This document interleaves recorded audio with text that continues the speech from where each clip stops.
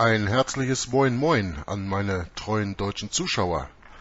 Ich habe mich heute hier eingefunden, um jetzt die nächste Lesung zu tun aus Alexander Hislops Buch von Babylon nach Rom, im Original The Two Babylons im Englischen.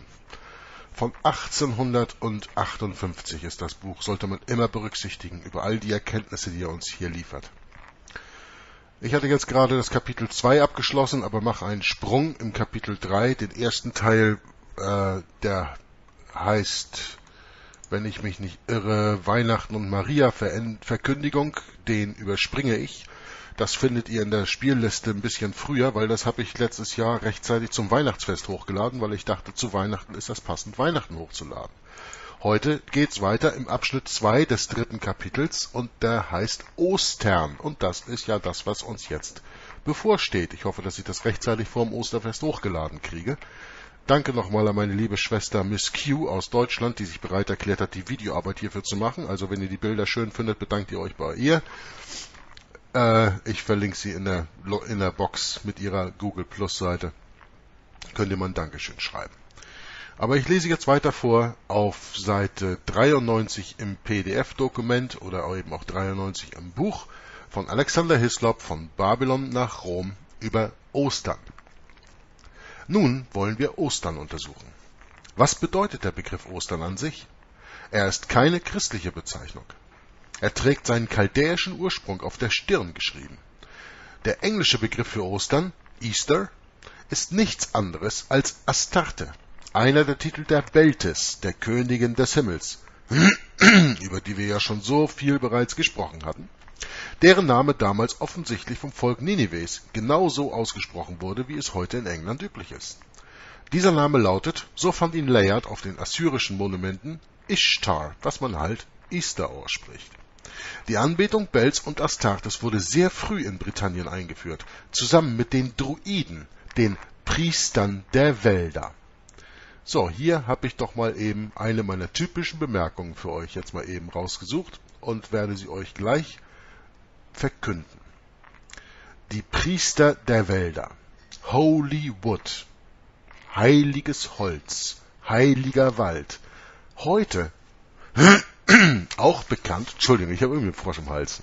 Geht wohl weg irgendwann. Heute auch bekannt unter dem Namen Hollywood. Der Teil des der Stadt der Engel, wie man sie so schön nennt, Los Angeles. Hollywood verzauberte die Welt mit ihren spirituellen Übungen. Ratio Studiorum, ein Begriff, der im Herrscher des Bösen deutlich genug erklärt wird. Da gehe ich jetzt nicht weiter drauf ein.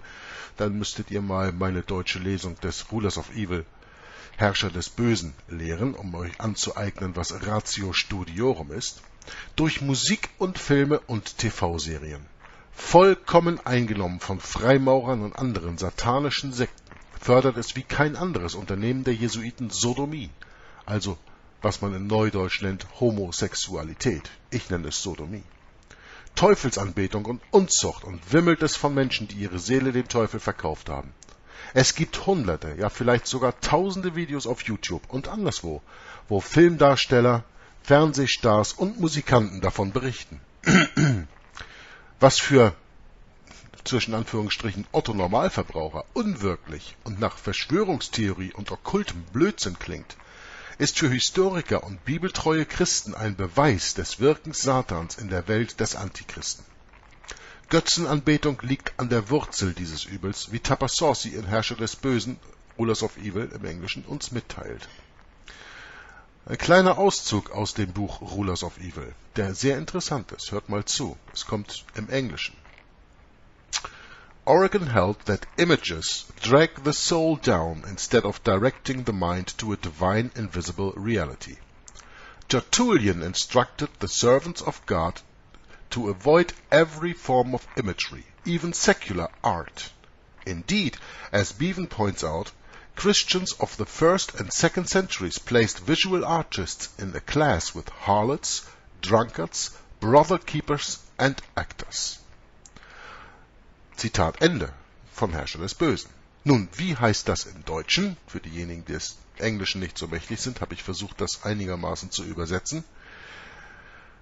Origen, das ist also eine bekannte geschichtliche Figur, Origen meinte, dass die Bilder, also Götzen, die Seele nach unten ziehen, anstatt den Geist in eine göttliche, unsichtbare Wirklichkeit zu lenken. Tertullien wies die Diener Gottes an, um jede Form von Bildern und Götzen, auch säkulare, also weltlicher Kunst, zu vermeiden. Tatsache ist, wie Bevan darauf hinweist, dass die Christen des ersten und zweiten Jahrhunderts bildende Künstler in einer Klasse mit Huren, Säufern, Zuhältern und Schauspielern einteilten. Ende der Übersetzung aus Herrscher des Bösen. Wir lesen hier also, dass die Anbetung Bells und Astartes sehr früh in Britannien eingeführt wurde, zusammen mit den Druiden, den Priestern der Wälder, Holywood, Hollywood. Schaut euch doch mal an, was heutzutage alles aus dem sogenannten Hollywood kommt. Also biblisch ist da nix, auch wenn sie ihre Filme gerne biblisch nennen, wie jetzt diesen letzten Exodus und davor Noah, den sie gemacht haben. Und warum machen sie das? Warum bringen die solche Filme raus zu dieser Zeit? Was glaubt ihr wohl? Das ist, um die Leute vom Glauben abzubringen. Aber ich darf hier nicht so lange ausschweifen, sonst komme ich mit meiner Zeit nicht hin und wird es ein Zwei-Stunden-Video und das will ich ja liebstens vermeiden, dass wir über Ostern so lange sprechen. Jedenfalls stellten sich manche vor, die druidische Anbetungsform sei zuerst von den Phöniziern eingeführt worden, die Jahrhunderte dem, vor dem christlichen Zeitalter mit den Zinnminen Cornwalls Handel trieben, fährt der Autor fort.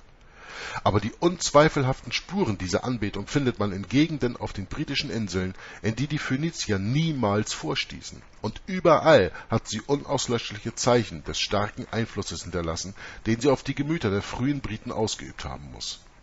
Von Bell ausgehend wird der 1. Mai, hallo, habt ihr euch mal gefragt, warum der 1. Mai der Tag der Arbeit ist? Von Bell ausgehend wird der 1. Mai im Kalender immer noch Beltane genannt und es gibt in England heutzutage noch Bräuche, die nachweisen, wie genau die Anbietung Bells oder Molochs, denn beide Titel gehören demselben Gott, Baal wird er auch genannt, sogar in dem nördlichen Teil dieser Insel befolgt worden war. Das heißt, es ist ein Baaltag, es ist ein Tag des Molochs, ein Tag des Bells, ein Tag der heidnischen Anbetung, der 1. Mai, und hat nichts mit dem Tag der Arbeit zu tun. Die frühere Lady Bird von Fern Tower in Perthshire, so ein Schreiber in Notes and Queries im britischen Altertum, äußerst bewandert, erzählte mir, dass sich jedes Jahr an Beltane, also das ist der 1. Mai, eine Anzahl Männer und Frauen bei einem alten druidischen Steinkreis in ihrem Eigentum bei Crieff versammeln. Sie zünden ein Feuer in der Mitte an, jeder legt ein Stückchen Haferkuchen in die Mütze eines Schäfers. Sie setzen sich alle nieder und nehmen wahllos ein Stück aus der Mütze. Ein Stück wurde vorher geschwärzt, und derjenige, der dieses Stück bekommt, muss durch das Feuer in der Mitte des Kreises springen und ein Pfand zahlen Ganz, ganz kurz nur mal eben die Abweichung zur Bibel. In der Bibel steht drin, dass man nicht durchs Feuer gehen soll. Altes Testament. Lest euch das mal durch. Gott hat da seine Gründe für. Dies ist in der Tat ein Teil der alten Baalsanbetung und derjenige, auf den das losfiel, wurde früher als Opfer verbrannt. Also, du hast das schwarze, verbrannte Stück Kuchen rausgezogen, im Neudeutschen sagen wir, du hast die Arschkarte gezogen. Pech gehabt. Das durch das Feuer gehen stellt dies dar, und das Zahlen des Pfandes kauft das Opfer los. Wenn Baal so in Britannien verehrt wurde, wird es nicht schwierig sein zu glauben, dass seine Gemahlin Astarte ebenso von unseren englischen Vorfahren angebetet wurde. Und dass wegen Astarte, deren Namen in Nineveh Ishtar war, die heutigen religiösen Feierlichkeiten des Monats April mit dem Begriff Easter, also Ostern, bezeichnet werden, zumal dieser Monat bei unseren heidnischen Vorfahren Easter Month, Eastermonat, englisch für Ostermonat, genannt wurde das Fest, von dem wir in der Kirchengeschichte unter der Bezeichnung Ostern lesen, war im dritten und vierten Jahrhundert ein ganz anderes Fest als das, welches jetzt in der römisch-katholischen Kirche gefeiert wird, und zwar zu jener Zeit nicht unter einem solchen Namen wie Ostern bekannt.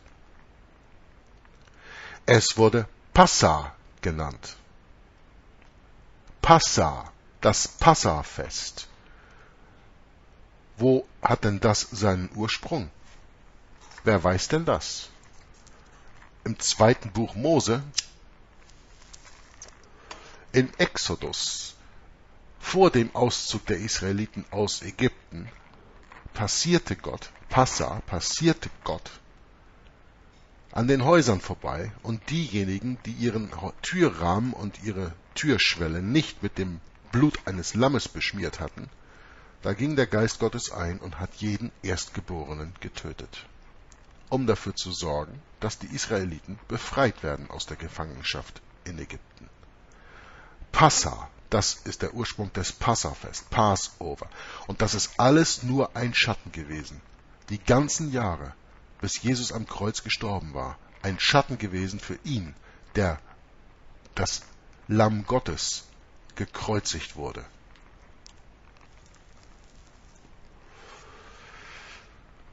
Der mit seiner Kreuzigung, seinem Tod, seiner Wiederauferstehung all unsere Sünden auf sich genommen hat. Das war nur ein Schatten, dieses Passafest, und deswegen sollte man das heute auch nicht mehr feiern.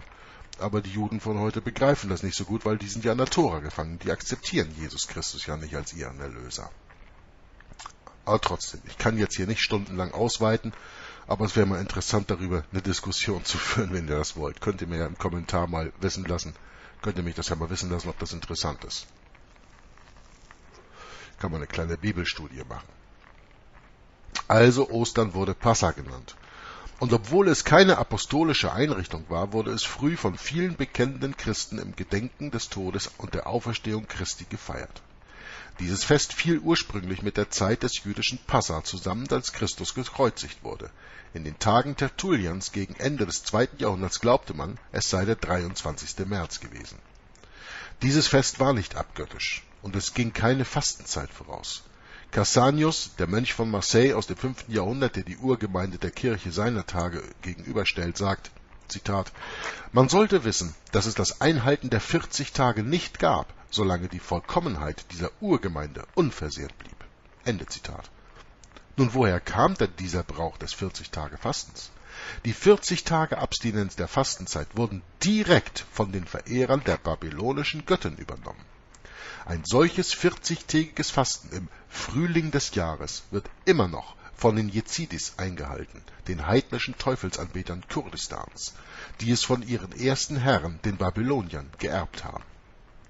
Ein solches Fasten von 40 Tagen wurde im Frühjahr von den heidnischen Mexikanern abgehalten, was wir bei Humboldt lesen, der einen Bericht über mexikanische Bräuche liefert. Zitat Drei Tage nach der Frühjahrstag- und Nachtgleiche das ist also, wenn, der, wenn die Sonne aus dem Süden wieder über den äh, wieder, wieder hochsteigt, begann ein feierliches Fasten von 40 Tagen zu Ehren der Sonne. Ende Zitat. Ein solches 40-tägiges Fasten wurde in Ägypten abgehalten. Dies ist in Egyptians von Wilkinson nachzulesen. Landseer berichtet in Sabian Researchers oder Landseer, dass dieses ägyptische 40-tägige Fasten ausdrücklich zum Gedenken des Adonis bzw. Osiris abgehalten wurde, des großen Mittlergottes. Mittler für was? Es gibt nur einen Mittler zwischen Gott dem Vater und dem Menschen. Und das ist der Mensch, Jesus Christus. Zur gleichen Zeit ist wohl der Entführung Prospernias bedacht worden, und zwar in ähnlicher Weise. Denn Julius Firmicus berichtet, dass 40 Nächte lang das Klagen um Proserpina andauerte. Und von Arnobius erfahren wir, dass die Christen seinerzeit glaubten, das von den Heiden gefeierte Fasten, Kastos oder heiliges Fasten genannt, sei ursprünglich eine Nachahmung des langen Fastens des Zer der Ceres gewesen, als sich diese nämlich wegen ihres Übermaßes an Sorgen oder Violentia moeroris viele Tage lang entschieden zu essen weigerte, und zwar wegen des Verlusts ihrer Tochter Proserpina, als diese von Pluto, dem Gott der Hölle, entführt wurde. Da die Geschichten von Bacchus bzw. Adonis und Proserpina, obwohl ursprünglich verschieden, zusammen und ineinander gefügt wurden, so dass der Bacchus Liber genannt wurde und seine Frau Ariadne Libera, einer der Namen Proserpinas, ist es sehr wahrscheinlich, dass die 40 Fastentage zu späterer Zeit mit beiden in Beziehung gebracht wurden. Für die Heiden scheint diese Fastenzeit eine unerlässliche Vorbereitungszeit für das große jährliche Fest zum Gedenken des Todes und der Auferstehung des Tammuz gewesen zu sein, das durch abwechselndes Weinen und sich Freuen gefeiert wurde und in vielen Ländern beträchtlich später als das christliche Fest stattfand. In Palästina und Assyrien wurde es im Juni begangen, daher die Bezeichnung Monat Tammuz, in Ägypten etwa Mitte Mai und in Britannien irgendwann im April. Jetzt muss ich aber noch mal eben auf den Tammuz eingehen.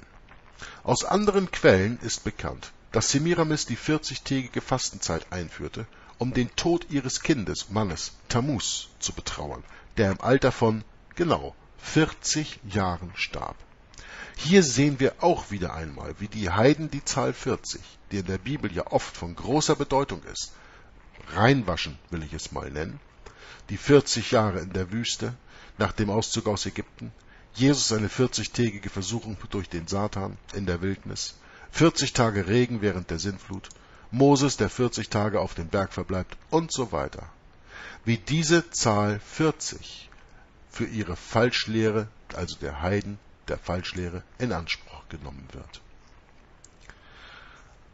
Nun, der Autor fährt fort, um die Heiden mit dem Namenschristentum zu versöhnen, ergriff Rom, das seine gewöhnliche Politik verfolgte, Maßnahmen, um die christlichen und heidnischen Feste miteinander zu verschmelzen. Ich werde jetzt nicht wieder in die Wiederholung fallen, ich habe es oft genug gesagt, das heidnische römische Reich hat sich mit dem Christentum, den Mantel des Christentums umgehangen, um sich darunter mehr oder weniger zu verstecken. Und das merkt man eben auch bei der Verschmelzung der christlichen und heidnischen Feste. Durch eine komplizierte, aber geschickte Anpassung des Kalenders war es im Allgemeinen nicht schwierig, Heiden und Christentum, das jetzt tief im Götzendienst versunken war, dazu zu bringen, sich die Hände zu reichen. Das Werkzeug zur Durchführung dieser Verschmelzung war der Abt Dionysius der Kleine, dem wir ebenfalls verdanken, dass die christliche Zeitrechnung bzw. der Zeitpunkt der Geburt Jesu um vier Jahre verschoben wurde, wie es heutige Wissenschaftler nachgewiesen haben. Heutige Wissenschaftler Mitte des 19. Jahrhunderts. Heute wird sich wohl kaum noch ein Wissenschaftler trauen, sowas irgendwie nachzuweisen und dann zu veröffentlichen. Ob dies aus Unwissenheit oder mit Absicht geschah, mag dahingestellt sein. Tja, der Autor lässt es dahingestellt. Ich gehe mal davon aus, dass es Absicht ist, genau wie alles, was hier passiert unter dem Joch von Rom. Aber es scheint kein Zweifel daran zu bestehen, fährt er fort, dass die Geburt des Herrn Jesus vier volle Jahre später angesetzt wurde, als sie tatsächlich stattfand. Diese Veränderung des Kalenders hinsichtlich des Osterfestes hatte Konsequenzen von großer Tragweite. Dadurch hielt in Verbindung mit der Enthaltsamkeit der Fastenzeit die gröbste Verdorbenheit und der krasseste Aberglauben Einzug in die Kirche. Man lese nur einmal die von Arnobius und Clemens Alexandrinus beschriebenen Gräuel nach, derer man während des heiligen Fastens bzw. des heidnischen Fastens gedachte. Man schämt sich unweigerlich für das Christsein derer, die in vollem Bewusstsein all dieser Scheußlichkeiten Zitat, nach Ägypten um Hilfe zogen, Ende Zitat, um die träge Frömmigkeit der verfallenen Kirche aufzurütteln und dabei keinen besseren Weg finden konnten, sie wiederzubeleben, als aus einer derart verschmutzten Quelle diese Ungereimtheiten und Gräuel zu schröpfen, welche die frühen christlichen Schreiber alle verachteten. Dass Christen überhaupt daran dachten, die heidnische Enthaltsamkeit der Fastenzeit einzuführen, war ein Zeichen des Bösen. Es zeigte, wie tief sie gesunken waren und war auch eine Ursache für Böses. Es führte unvermeidlich zu tieferem Verfall. Ursprünglich war selbst in Rom die Fastenzeit mit den vorangehenden lärmenden Festlichkeiten des Karneval völlig unbekannt. Und selbst als man das Fasten vor dem christlichen Passa als notwendig erachtete, passte es sich in dieser Hinsicht nur in winzigen Schritten dem Ritual des Heidentums an wie lange die Fastenzeit in der römischen Kirche vor dem Konzil zu Nicäa, das ungefähr 325 nach Christus stattfand, dauerte, ist unklar. Aber es liegen eindeutige Hinweise vor, dass sie noch eine beträchtliche Zeit nach jenem Konzil drei Wochen nicht überschritt. Nun muss ich hier nochmal eine kleine Note einfügen aus der Fußnote 402. Gieseler sagt hinsichtlich der Passabräuche im Zusammenhang der Ostkirche im zweiten Jahrhundert, Zitat, an ihm, also dem Passafest, zum Gedenken des Todes Christi, essen sie, die Christen der Ostkirche, acht Tage lang ungesäuertes Brot, wahrscheinlich wie die Juden. Es gibt keine Spur von einem jährlichen Fest, einer Auferstehung bei ihnen, denn dies wurde jeden Sonntag gefeiert. Was die Westkirche angeht, wurden zu einer etwas späteren Epoche, zur Zeit Konstantins, also zwischen 315 und 330 ungefähr, anscheinend fünfzehn Tage mit religiösen Handlungen im Zusammenhang mit dem christlichen Passafest eingehalten. Dies geht aus folgenden Auszügen von Bingham hervor, die ich freundlicherweise von einem Freund erhielt. Die Zeit des Fastens wird jedoch nicht angegeben. Bingham aber sagt, die Feierlichkeiten des Passa äh, Entschuldigung, jetzt habe ich mir gerade eben hier meine Reihe verloren. Die Feierlichkeiten des Passa sind die Woche vor und die Woche nach Ostersonntag. Eine Woche für das Kreuz, die andere für, das, für die Auferstehung. Die Alten sprechen von dem Passions- und Auferstehungspassa als von einer 15-tägigen Feierlichkeit. 15 Tage wurden per Gesetz durch das Reich erzwungen und der ganzen Kirche befohlen. Scaliger, ein weiterer Historier, erwähnt ein Gesetz Konstantins, das zwei Wochen vor Ostern und die Unterbrechung aller Gerichtsprozesse, das zwei Wochen für Ostern und die Unterbrechung aller Gerichtsprozesse anordnete. Ja, Konstantin war ein beschäftigter Mann, hat ja auch das Sonntagsgesetz damals eingeführt. Hm? Nun, als jedoch schließlich die Anbetung der Astarte im Aufstieg begriffen war, wurden Maßnahmen ergriffen, um das gesamte chaldäische Fasten von sechs Wochen bzw. 40 Tagen für alle im Weströmischen Reich erforderlich zu machen.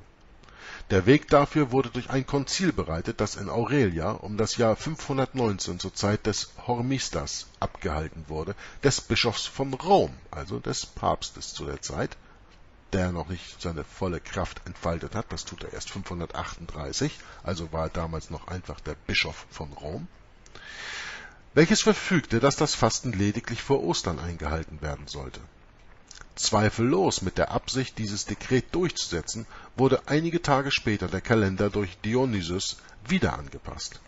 Dieses Dekret konnte nicht in einem Zuge durchgesetzt werden. Gegen Ende des sechsten Jahrhunderts wurde der erste entscheidende Versuch unternommen, die Einhaltung des neuen Kalenders zu erzwingen. Die ersten Bestrebungen dieser Art wurden in Britannien unternommen, und dort traf der Versuch oder dort, ja, dort traf der Versuch auf energischen Widerstand der zeitliche Unterschied zwischen dem christlichen Passa, wie es in Britannien von den dortigen Christen gefeiert wurde, und dem durch Rom erzwungenen heidnischen Ostern lag zum Zeitpunkt seiner Erzwingung bei einem ganzen Monat.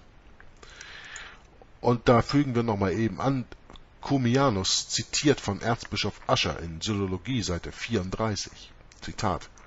Diejenigen, die mit dem Feiern von Weihnachten und Ostern groß wurden, und doch von Herzen jeglichen papistischen und heidnischen Götzendienst gleicherweise verabscheuen Hallo, wer weiß denn das heute noch, dass das papistischer, heidnischer Götzendienst ist? Sicher Weihnachten? Hört euch nochmal meine Lesung davon an.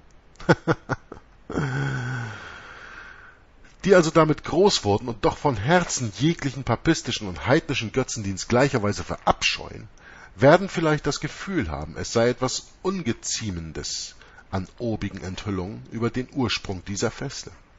Ein kurzes Nachdenken wird jedoch genügen, um ein solches Gefühl völlig zu verbannen.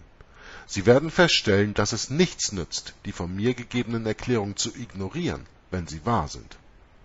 Einige der auf diesen Seiten erklärten Tatsachen sind schon atheistischen und sozianischen Schreibern nicht, von nicht geringer Bedeutung bekannt, obwohl in England als auch auf dem europäischen Festland und diese verwenden sie in einer Weise, die darauf abzielt, den Glauben junger Leute und Unwissender hinsichtlich der wesentlichen Grundlagen des christlichen Glaubens zu unterminieren.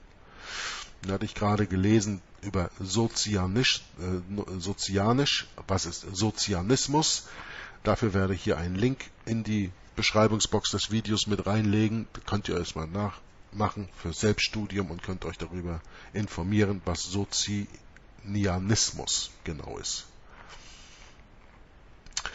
Der Autor fährt fort, sicher, dann muss die letzte Konsequenz sein, dass man die Wahrheit in ihrem eigenen natürlichen Licht darlegt, auch wenn sie den vorgefassten Meinungen ziemlich zuwiderläuft. Besonders da diese Wahrheit richtig betrachtet die heranwachsende Jugend so sehr gegen die Verführungen des Katholizismus stärken und sie in dem einmal in dem Heiligen überlieferten Glauben bekräftigen will. Wenn ein Heide sagen konnte, Sokrates liebe ich und Plato liebe ich, aber die Wahrheit liebe ich mehr, wird sicherlich ein wahrhaft christliches Gemüt nicht weniger Großmut an den Tag legen. Ist das nicht genügend Anlass, selbst im Blick auf die Zeitpunkte, um ernste Nachforschungen anzustellen, wenn die Gelegenheit bisher noch nicht vorhanden war, um sich zu bemühen, und zwar ernsthaft, die nationalen Einrichtungen des Süden Englands von diesen Bräuchen und allem ihre und allem anderen zu reinigen, was aus Babylons goldenem Becher in sie hineingeströmt ist? Es sind Männer von edler Gesinnung in der Kirche, von Cranmer, Latimer und Ridley. Das sind hier drei sehr, sehr wichtige, den meisten wahrscheinlich gar nicht bekannte, Reformatoren. Cranmer, Latimer und Ridley.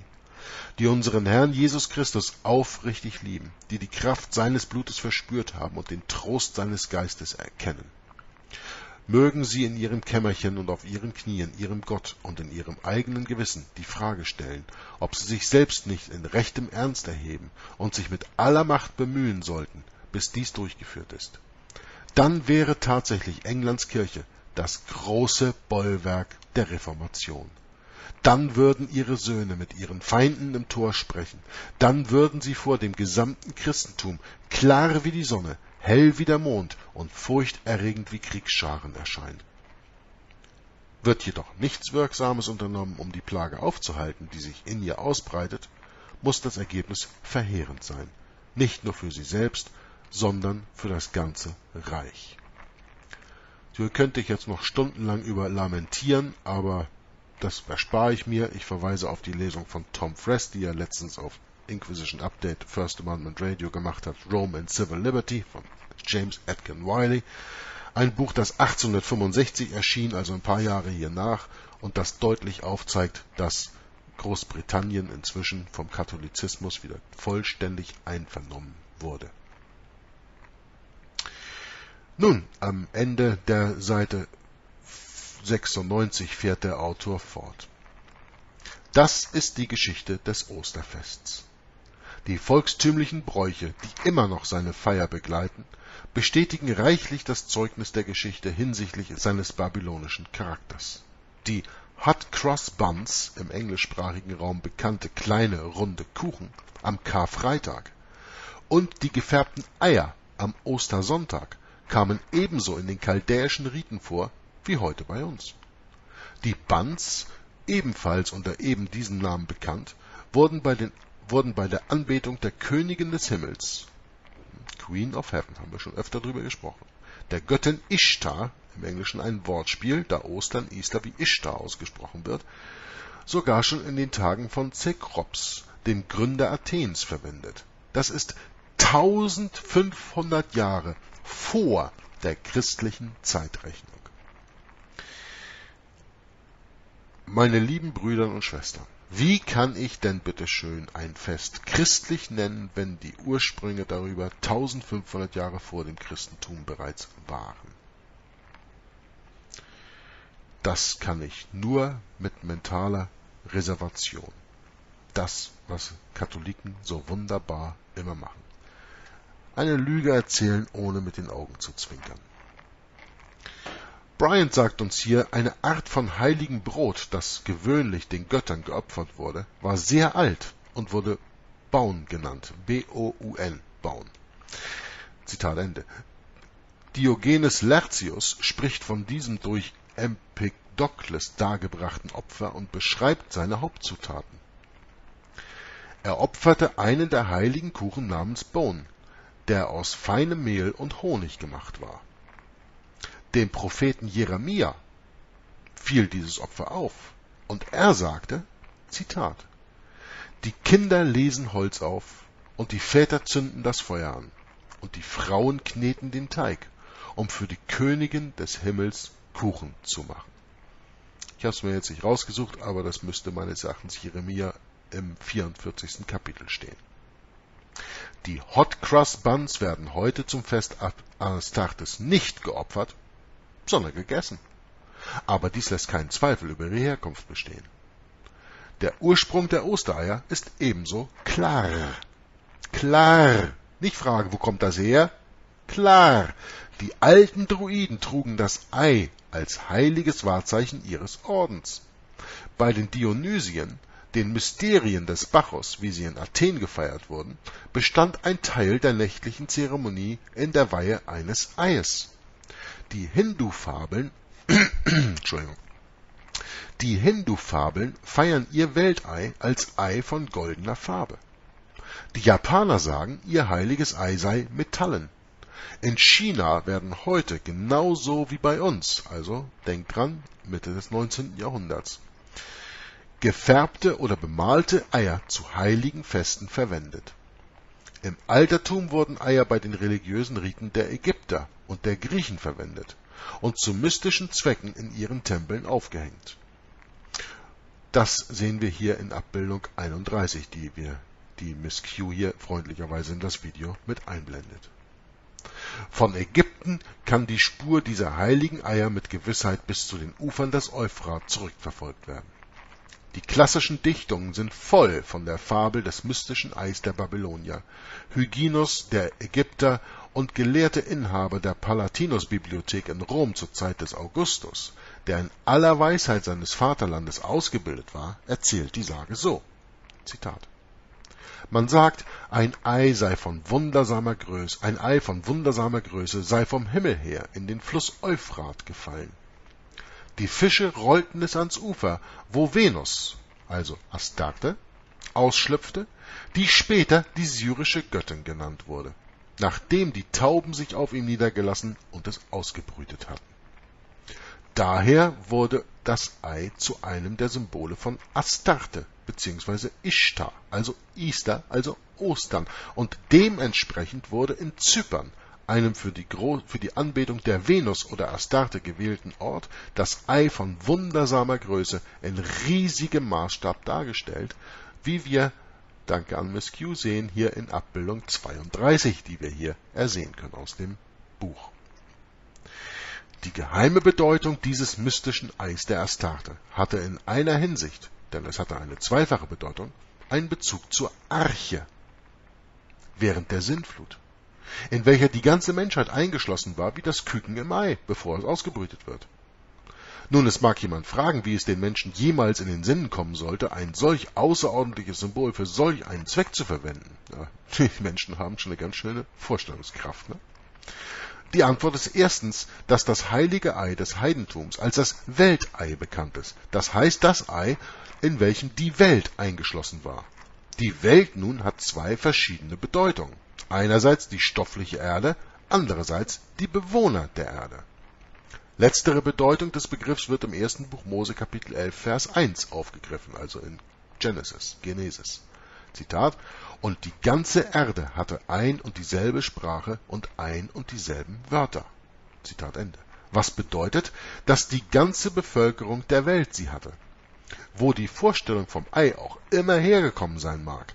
Wenn es dann heißt, die Welt sei in einem Ei verschlossen und schwimme auf dem Wasser, wird es nicht schwierig sein anzunehmen, dass das so auf dem weiten Weltmeer schwimmende Ei Noahs Familie sein könnte, die die ganze Welt in ihrem Schoß trug.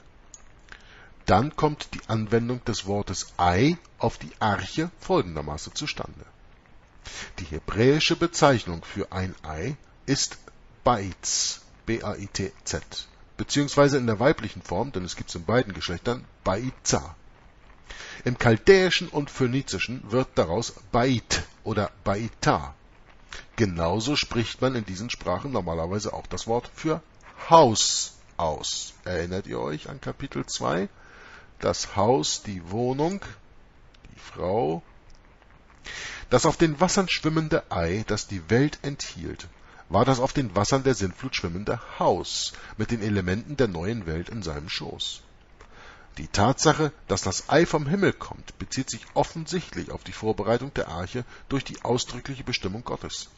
Dasselbe wird in der ägyptischen Geschichte vom Weltei angedeutet, welches aus dem Mund des großen Gottes hervorgegangen sein soll.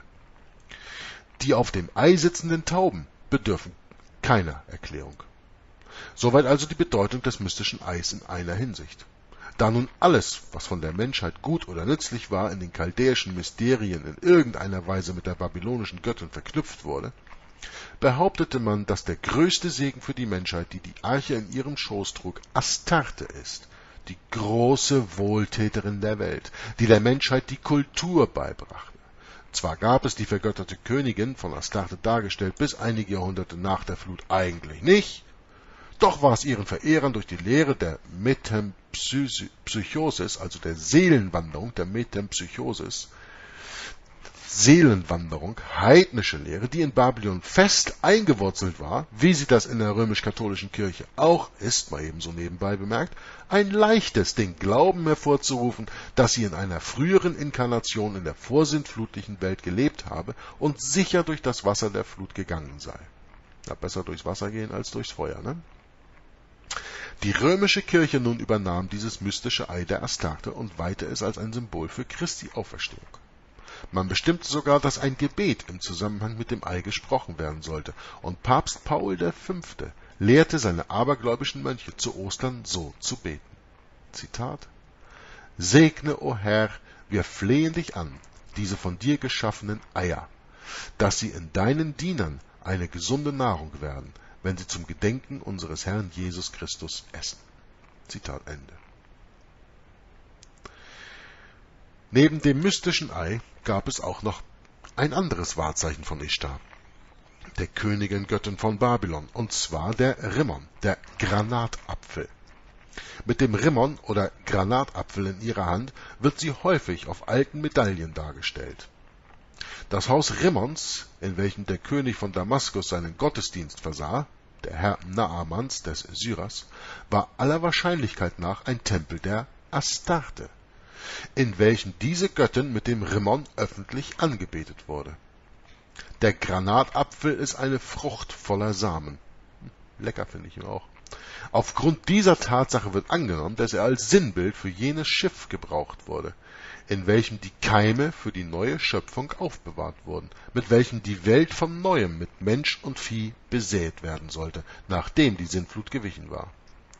Forscht man jedoch genauer nach, sollte man übrigens immer tun, stellt sich heraus, dass der Rimmon bzw. Granatapfel sich auf etwas völlig anderes bezog. Astarte bzw. Ishtar oder Kibele wurde auch Idaia Mater genannt und der heilige Berg in Phrygien, denkt mal an die phrygische Kappe, sehr berühmt wegen der Feier ihrer Mysterien, wurde Berg Ida genannt. Das heißt im Chaldäischen der heiligen Sprache dieser Mysterien der Berg der Erkenntnis. Ida Yamata bedeutet dann Mutter der Erkenntnis. Mit anderen Worten, Unsere Mutter Eva ist gemeint, die als erste die Erkenntnis von Gut und Böse begehrte und sie tatsächlich für einen so schrecklichen Preis für sich selbst und all ihre Kinder, das sind auch wir, erwarb. Wie zur Genüge aufgezeigt werden kann, wurde Astarte nicht nur als Inkarnation des Geistes Gottes verehrt, sondern auch als Inkarnation der Mutter der Menschheit. Nun folgt eine etwas längere Erklärung, die wir im Nachtrag J dieses Buches nachlesen können. Also, wie zur Genüge aufgezeigt werden kann, wurde Astarte nicht nur als Inkarnation des Geistes Gottes verehrt, was natürlich biblisch gesehen absoluter totaler Quatsch und Häresie und Gotteslästerung ist, sondern auch als Inkarnation der Mutter der Menschheit. Die Bedeutung des Namens Astarte. Dafür, dass Semiramis unter dem Namen Astarte nicht nur als Inkarnation des Geistes Gottes verehrt wurde, sondern auch als Mutter der Menschheit, gibt es eindeutige und befriedigende Beweise.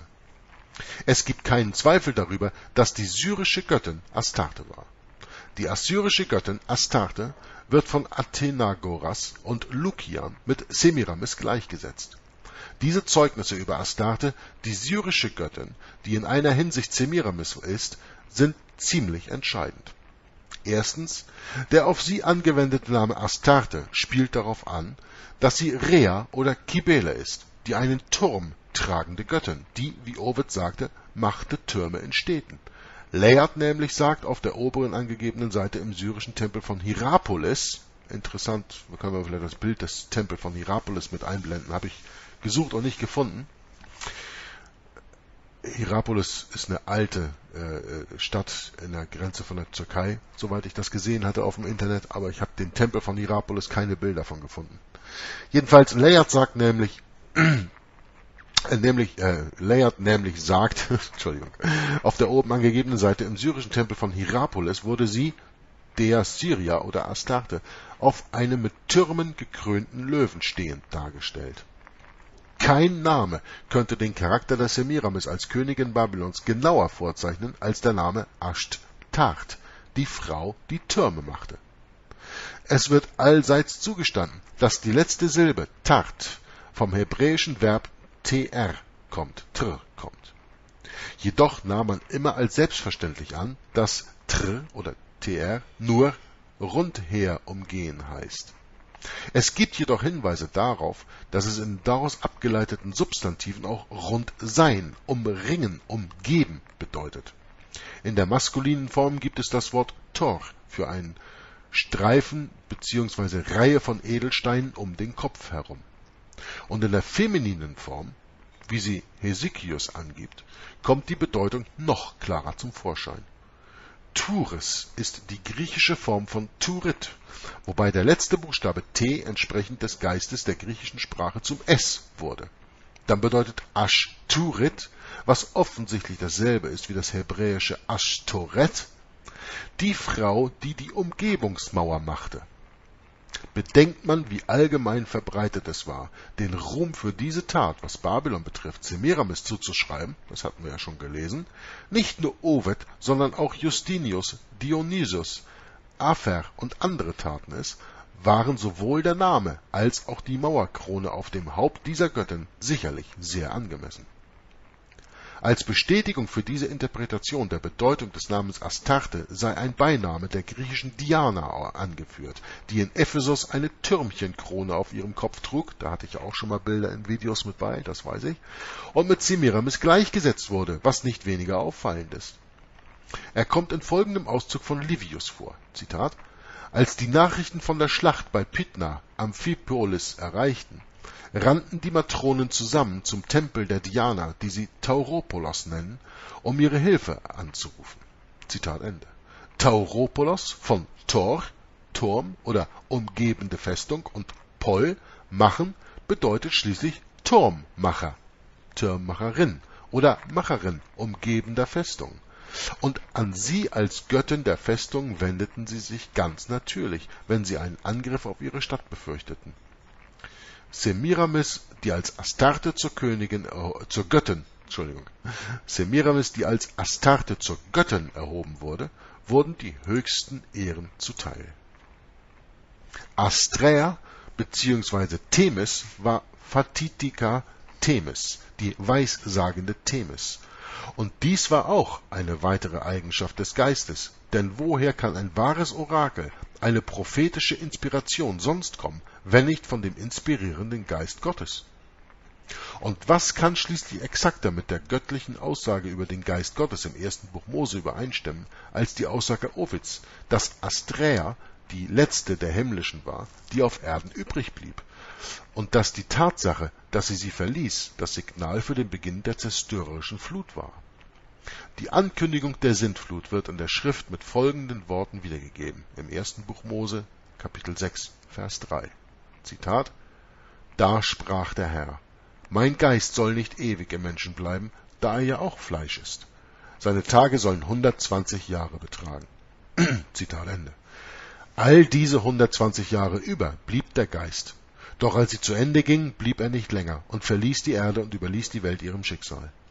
Und obwohl der Geist Gottes die Erde verließ, verhieß, äh, verließ, verließ er nicht die Familie des gerechten Noah. Er ging mit dem Patriarchen in die Arche, und als dieser Patriarch aus seiner langen Gefangenschaft entlassen wurde, ja, über fünf Monate waren die auf der Arche, wurde er mit ihm entlassen. So hatten die Heiden eine historische Begründung für ihre Aussage von der Taube, die auf dem Symbol der Arche im babylonischen Gewässer ruhte und der daraus hervorgehenden syrischen Göttin, beziehungsweise Astarte oder Asträa. So wurde Semiramis als Astarte, die als Taube verehrt wurde, als Inkarnation des Geistes Gottes betrachtet. Und drittens, wie Baal, der Herr des Himmels, sein sichtbares Zeichen hatte, die Sonne, so musste auch sie als Beltis, Königin des Himmels, ihres haben, den Mond, der in einem weiteren Sinn Ashtarte war, der Umdrehungen machende, denn es besteht kein Zweifel daran, dass Tart ganz allgemein rundum hergehen oder umkreisen bedeutet, wie wir ja bereits gelesen haben. Viertens, doch muss das gesamte System zu einem Ganzen verbunden werden. Da die Mutter der Götter, Entschuldigung, da die Mutter der Götter ebenfalls die Mutter der Menschheit war, musste Semiramis bzw. Astarte auch mit Eva gleichgestellt werden, und der ihr laut Paschal Chronicle gegebene Name Rea beweist ausreichend ihre Identität mit Eva. Der Name Astarte, der Name der allgemeinen Mutter der Menschheit, passt in einzigartiger Weise, denn da sie Idaia Mater war, die Mutter der Erkenntnis, stellt sich die Frage, wie kam sie zu dieser Erkenntnis? Wie kam sie zu der Erkenntnis? Darauf kann es nur eine Antwort geben. Durch die fatalen Nachforschungen, die sie anstellte. Ja, Eva hat ja fatal nachgeforscht, ne? Mit den Apfel anzunehmen und da reinzubeißen. Es war ein schreckliches Experiment, das sie machte, als sie es gegen das, als sie gegen das göttliche Gebot und trotz der angedrohten Strafe wagte, diese verbotene Erkenntnis zu erforschen, die ihr Schöpfer ihr in seiner Güte vorenthalten hatte. So schlug sie jenen unglücklichen Weg ein, von dem die Bibel sagt, Zitat, Gott hat den Menschen aufrichtig gemacht, aber sie suchen viele Künste. Zitat. Lesen wir im Buch Prediger, Kapitel 7, Vers 29. Semiramis, als Taube vergottet, war also Astarte in ihrer gnädigsten und gutmütigsten Form. Lucius Ampelius nennt sie Deam benignam et misericordem hominibus ad vitam bonam. Das heißt auf Deutsch, die den Menschen gutmütige und gnädige Göttin, die sie bringt zu einem guten und glücklichen Leben. In Bezug auf diese Eigenschaft der Gutmütigkeit werden ihr offensichtlich die beiden Titel Aphrodite und Melita zugeschrieben. Den ersten habe ich an anderer Stelle als Zorndämpferin erklärt. Da müssten wir in Seite 144 gehen und da sind wir noch nicht, aber da kommen wir dann halt noch hin. Und der zweite stimmt damit genau überein. Mylita oder im Griechischen Mulita bedeutet Mediatrix, ja, wieder die Mittlerin. Das hebräische Meletz, das im Chaldäischen zu Melet wird, wird offensichtlich in Hiob im 33. Kapitel Vers 23 im Sinne von Mittler verwendet, denn der Bote oder Ausleger Melets, der einem Menschen gnädig ist und sagt, befreie ihn, damit er nicht in die Grube hinabfährt. Ich habe Lösegeld gefunden, ist in Wirklichkeit der Bote oder Mittler. Parkhurst versteht das Wort in diesem Sinne und leitet es von Mlz, also M-L-T-Z, Mlz her. Das heißt süß sein. Jetzt wird's interessant, Leute.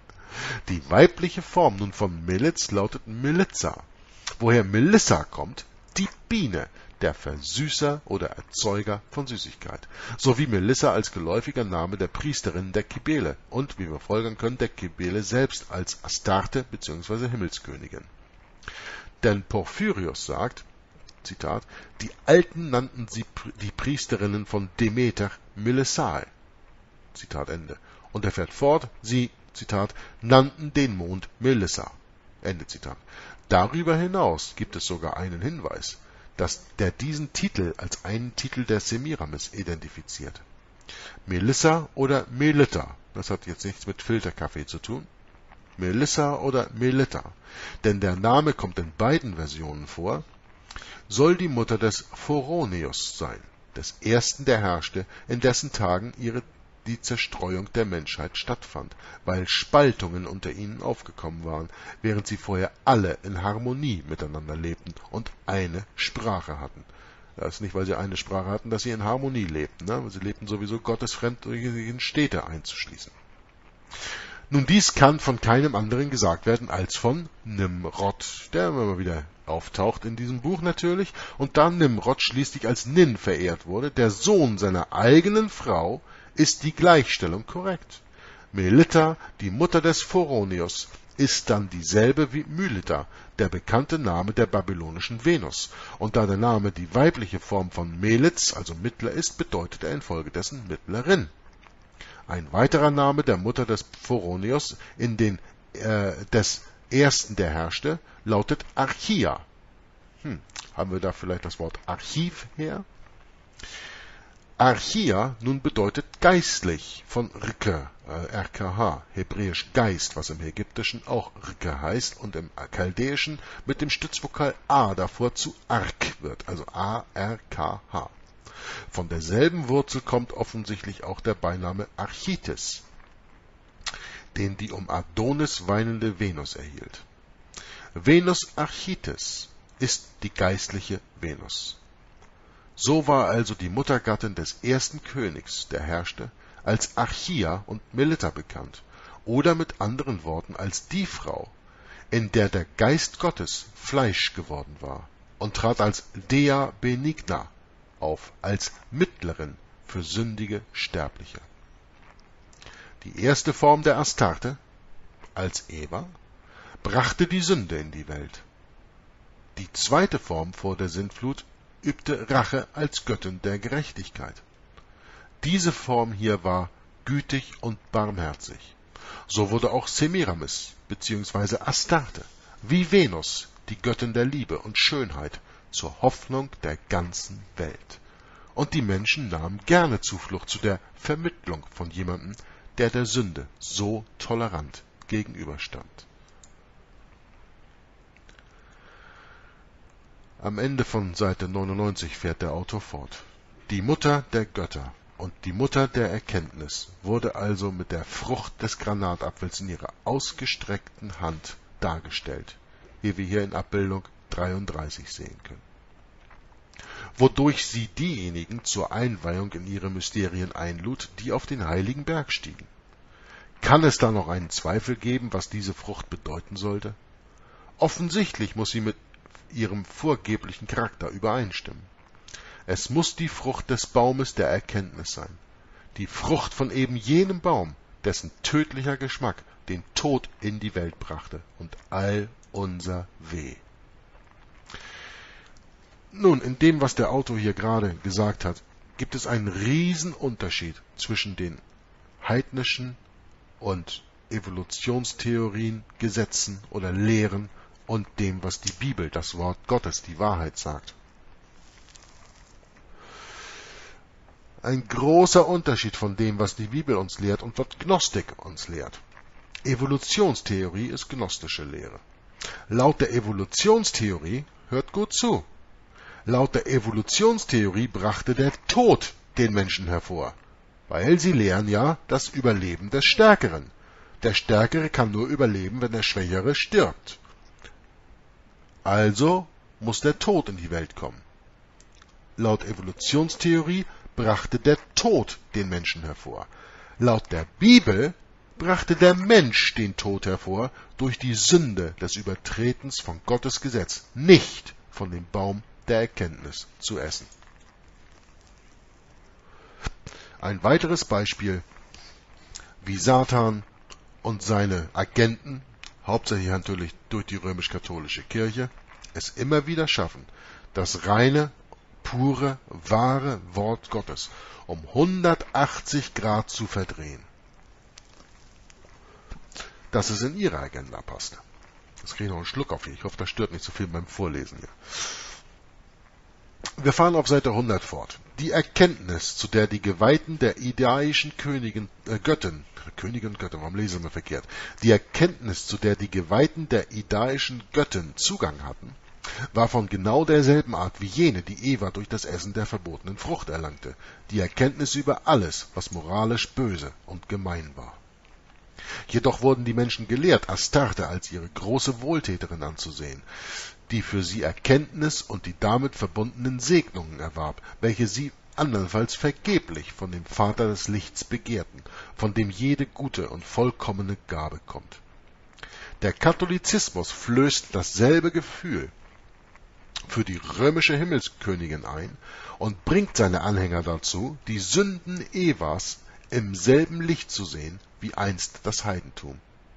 Im Kanon der Messe, dem feierlichsten Gottesdienst im römischen Messbuch, also der Messe der Eucharistie eben auch, ja, da wird's ja noch teuflischer. Im Kanon der Messe, dem feierlichsten Gottesdienst im römischen Messbuch, wird die Sünde unserer Ureltern mit folgendem Ausdruck angesprochen. O beata culpa, quae talem mirusti redemptorem. Entschuldigung für mein Latein, das habe ich nie gelernt. Heißt auf Deutsch, O gesegnete Schuld, die du einen solchen Erlöser herbeiführest. Die in diesen Worten enthaltene Vorstellung ist rein heidnisch. Sie läuft nämlich auf Folgendes hinaus. Eva sei gedankt, deren Sünde wir den herrlichen Erlöser verdanken. Die darin enthaltene Vorstellung findet man zwar mit dem gleichen Wortlaut in den Schriften des Augustinus, jedoch ist es eine Vorstellung, die dem Geist des Evangeliums genau entgegengesetzt ist, welches besagt, dass die Sünde noch umso sündiger ist, da sie eines solchen Lösegeldes bedurfte, um von ihrem schrecklichen Fluch zu befreien. Augustinus hatte sich viele heidnische Vorstellungen angeeignet und wurde nie völlig von ihnen frei. Es ist erstaunlich, dass ein so fähiger und aufgeklärter Mann wie Merle d'Aubigne an solchen Worten nichts Böses sah, sagt der Autor hier. Und das ist natürlich ziemlich interessant, sich ebenfalls mal kurz darüber zu überlegen, der Merle d'Aubigne hat ein absolut monumentales Werk über den Protestantismus geschrieben. Das könnt ihr, ihr googeln und euch anschauen. Das gibt es, glaube ich, auch zum Teil als PDF. Ähm, das sind aber echt, das ist ein monumentales, das ist ein Monsterwerk von d'Aubigne. History of Protestantism heißt das, glaube ich, im Englischen. Ich habe das auf meinem Computer, glaube ich, stehen. Und der sah hier nichts Böses drin. Naja, da muss ich mal eben zu sagen, Entschuldigung, dass ich da ein bisschen abweiche, aber wenn ihr Dave Hunt kennt und der hat das Buch geschrieben A Woman Rides the Beast oder im Deutschen Die Frau und das Tier, das werde ich auch irgendwann mal auf meinem Kanal lesen. Der hat es ja auch geschafft, seine Zukunftslüge aufrechtzuerhalten, obwohl er den Vatikan so dargestellt hat und bloßgestellt hat, aber hat trotzdem nicht erkannt, dass das Papsttum der Antichrist der Bibel ist. Also selbst solche fähigen und aufgeklärten Männer wie Merle d'Aubigne und in dem anderen Fall, den ich gerade erwähnt hatte, Dave Hunt, auch die können Fehler machen und das ist an uns, um auf Basis der Schrift, der Wahrheit, diese Fehler aufzudecken und diese Falschlehren nicht zu übernehmen.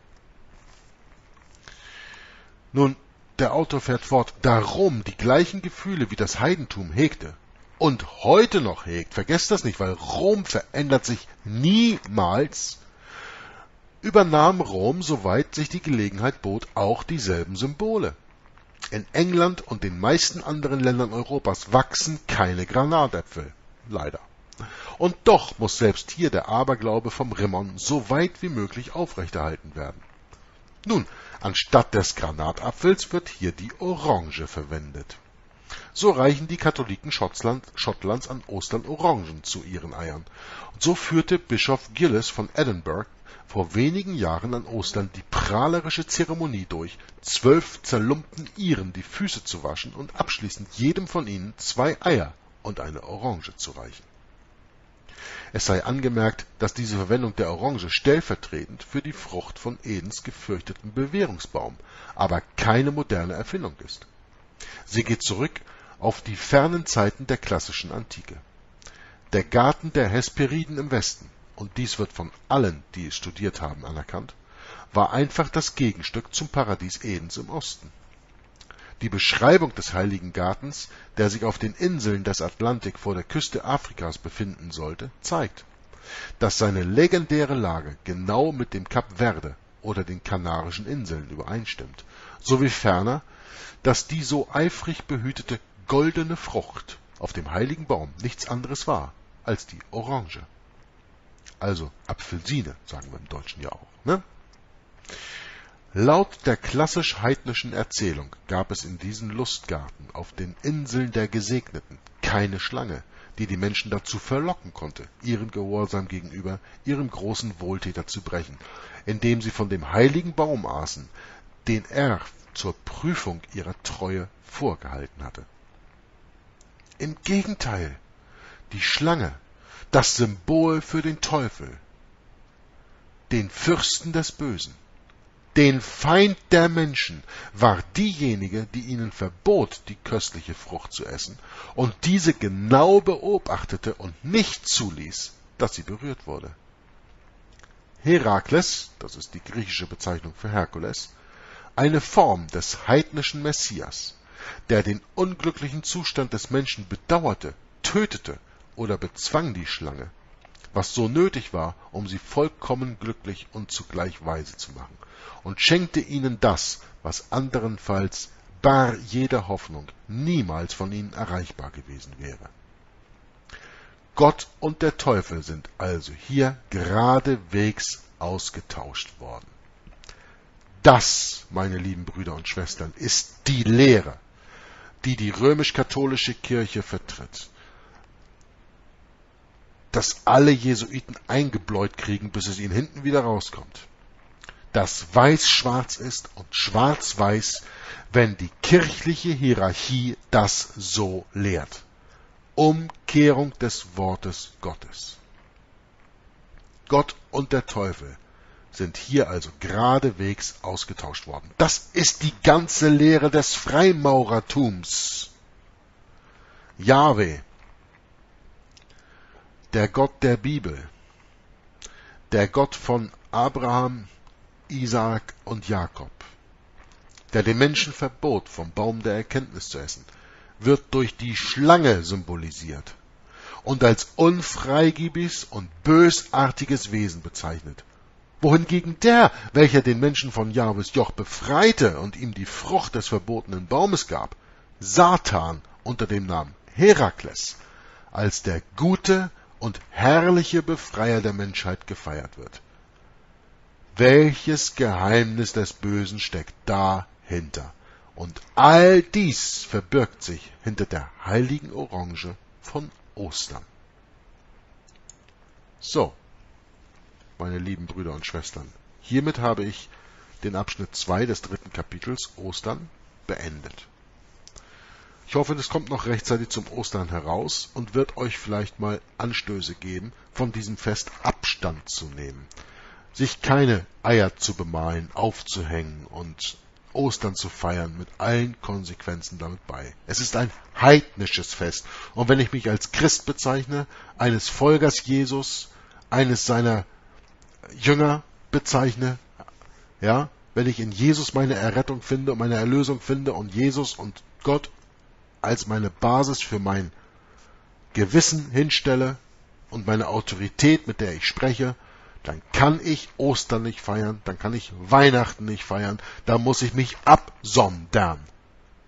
Das werden euch die meisten Familienmitglieder wahrscheinlich nicht gerade, ja, gut heißen, aber Wollt ihr gut vor euren Mitmenschen stehen oder wollt ihr gut vor Gott stehen? Die Frage muss man sich immer wieder stellen. Und wenn ich dieses Buch hier lese und wir dabei sehen, dass der römische Katholizismus all seine Wurzeln in Babylon hat, der erste große Abfall nach der Sintflut, durch den Städtebau, den Turmbau und Gott, der daraufhin die Nationen gegründet hat, durch den Menschen ihre Sprache zu verwirren. Wenn ich all das sehe, wo dieser Ursprung herkommt, dann ist es nicht nur schön, das zu wissen, meine Lieben, dann ist es vor allen Dingen auch schön, wenn ich daraus meine Konsequenzen ziehe. Und wenn ich sage, ihr feiert Ostern, gut, Entschuldigung, das ist ein heidnisches Fest. Und wenn ich daran teilnehme, dann ist das, wie sagt man das im Deutschen, dann ist das meinem Herrn, meinem Gott, ein Gräuel. Es ist ihm ein Gräuel.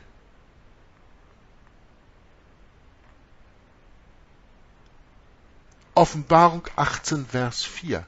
Kommt raus aus ihr, mein Volk, dass ihr nicht teilnehmt an ihren Sünden, an ihren Plagen.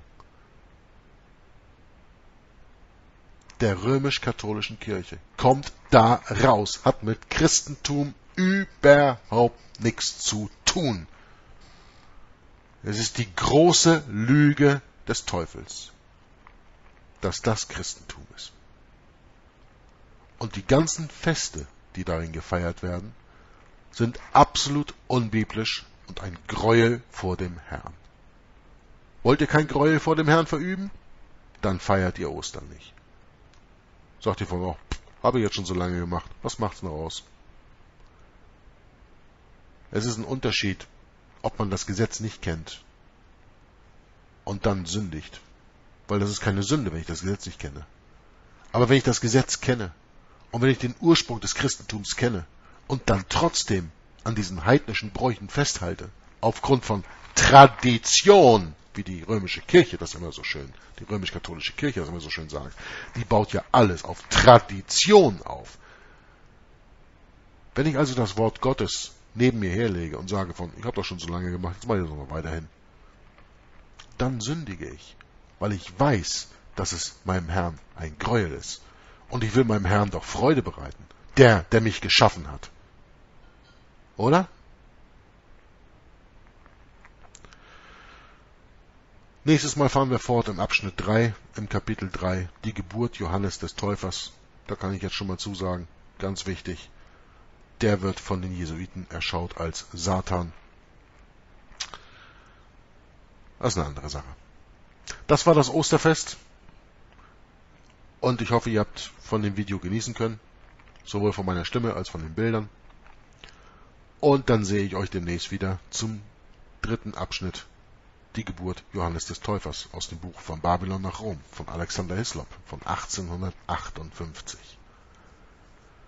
Danke fürs Zuhören, danke fürs Zuschauen und bis zum nächsten Mal. Gott behüte euch auf allen euren Wegen und behüte euch auf seinem, auf dem schmalen Pfad, der zum Tor der Erlösung führt. Feiert nicht Ostern. Feiert nicht Weihnachten. Bis zum nächsten Mal. Gott segne euch. Jotler66 sagt Tschüss.